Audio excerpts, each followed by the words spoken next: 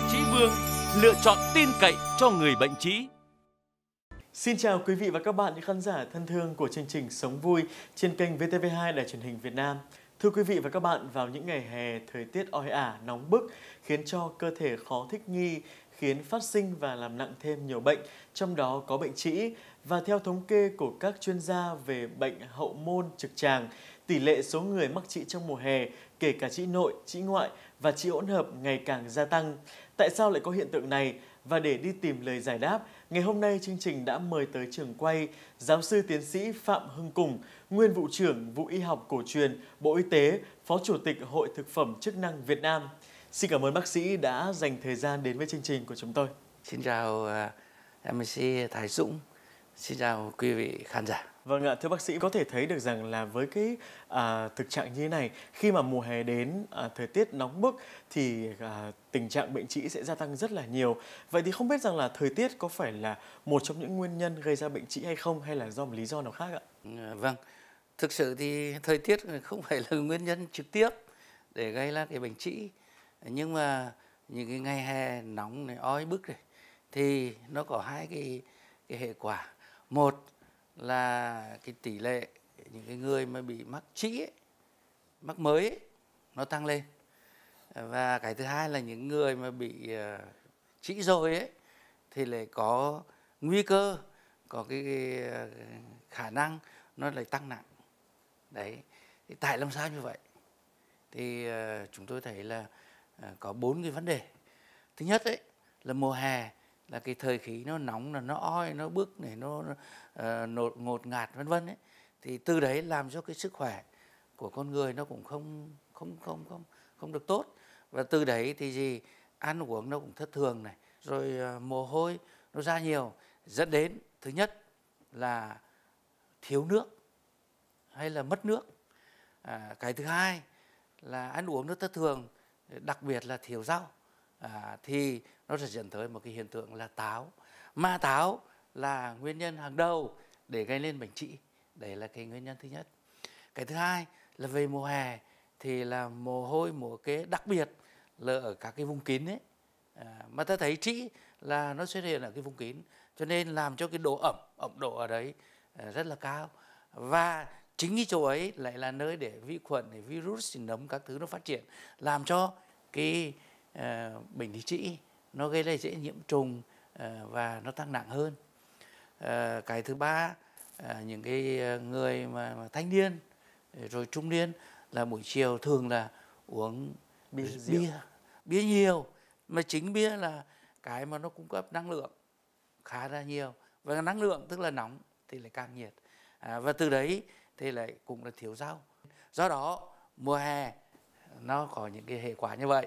Một mắc mới tăng lên hai đã mắc rồi thì nguy cơ tăng nặng nó lại càng cao vâng À, như bác sĩ vừa chia sẻ thì là mùa hè là cái thời điểm mà bệnh trĩ chúng ta phải tiếp tiếp đón thêm những bệnh nhân mới và những người mà bị rồi thì cũng sẽ bị nặng hơn rất là nhiều. Vậy thì bác sĩ có thể chia sẻ những cái khó chịu mà bệnh trĩ mang tới cho những người mắc bệnh trĩ được không ạ? À, về bệnh lý trĩ thì các cái triệu chứng làm cho người ta khó chịu thì rất là rõ ràng. Bản thân cái người ấy người ta có thấy thứ nhất này là đau này, rát, ẩm ướt nó cảm thấy khó chịu ở vùng hậu môn này, rồi nặng hơn nữa à, là nó sưng nề và từ đấy thì đi lại nó cũng cảm thấy nó khó. Đặc biệt là ngồi à, lại càng càng đau. Rồi à, nặng hơn thì nữa thì có thể là gây chảy máu khi đi ngoài.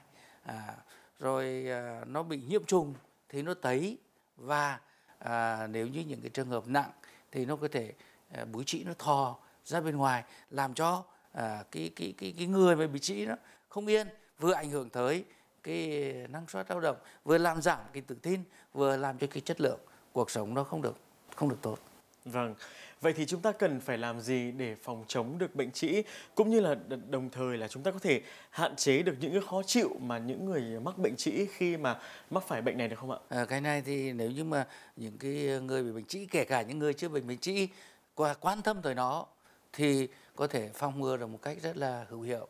Cái thứ nhất là phải uống đủ nước. Cái thứ hai là phải cung cấp đủ uh, các cái chất rau. Vì trong đấy nó có sơ uh, à, và cái chất sơ rất quan trọng trong cái vấn đề chống táo bón.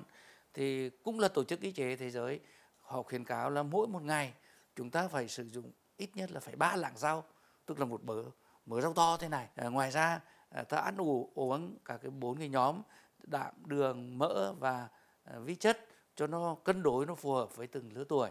À, và một điều quan trọng nữa là chúng ta có một cái chế độ nghỉ ngơi làm việc đặc biệt là phải tăng cường vận động.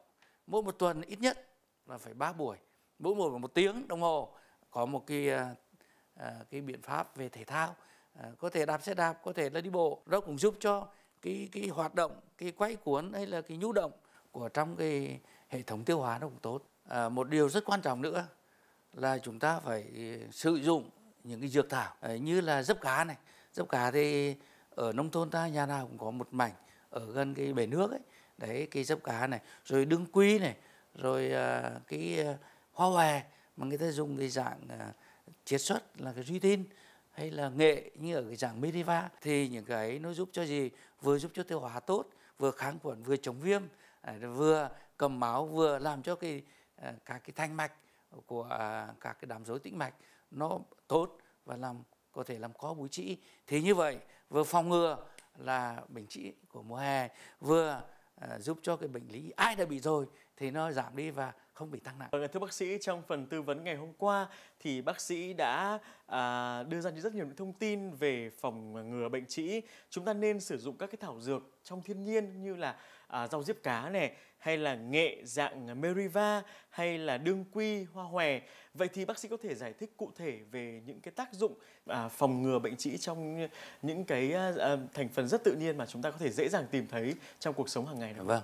À, thì thứ nhất là cái diếp cá. Diếp cá thì ta dùng hàng trăm năm nay rồi thì người ta thấy nó thanh nhiệt tiêu độc. Cái thứ hai là diếp cá nó nhuận trường. À, nhuận trường tức là làm cho phân nó không táo. Cái thứ ba nữa nó có cả cái hoạt chất antioxidant chống lại gốc thì tự do. Cho nên nó làm cho cái quá trình ở thanh mạch cũng như là cái vách của cái uh, vùng hậu môn trực tràng nó khỏe hơn nó chống được ờ, uh, các cái gốc tự do và nó cũng có tác dụng kháng khuẩn. Rồi cái vị uh, thứ hai là đương quy.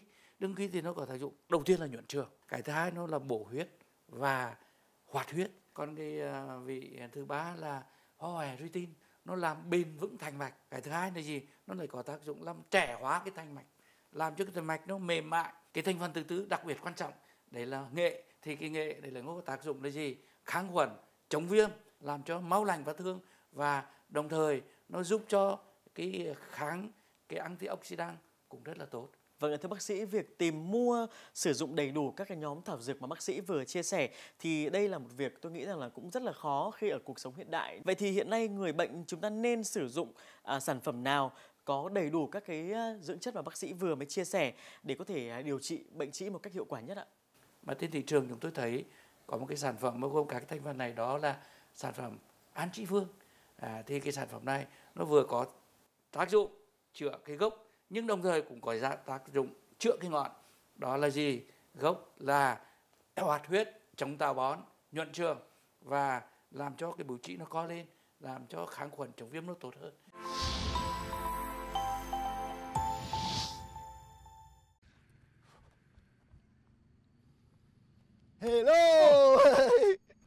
Bị sao mà vỗ vào mông thế hả?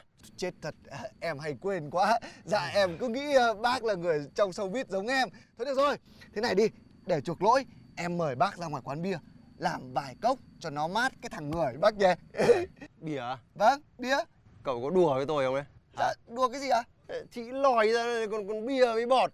Bác thật lòi đâu ra mà lòi. Em chỉ ờ, thập thà thập thò có một tí tí thôi. Này này này. Dạ. Cậu lấy đâu ra cái khái niệm chị thập thà thập thò là cái gì?